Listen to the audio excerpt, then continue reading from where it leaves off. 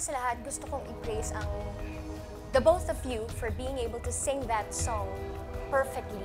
Gustong gusto ko kung paano nyo binigyan ng ibang flavor. Sinimulan mo, Morissette, ng It's pouring na sinundan din ni Lisa na "Ah, na, na." Ang sarap! Ang sarap din! Problema ko ngayon!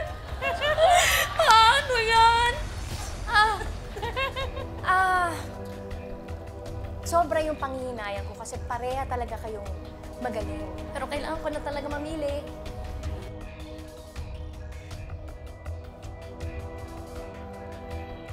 Giselle and Morissette, pareho ko kayong mahal.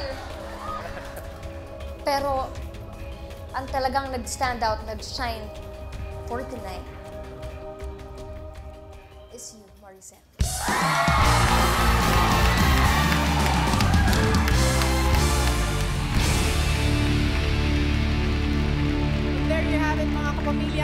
Na Coach Sarah.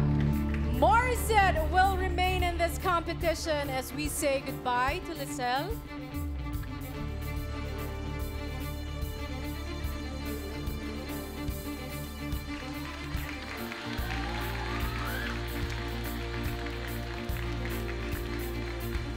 Welcome to the next round of this competition.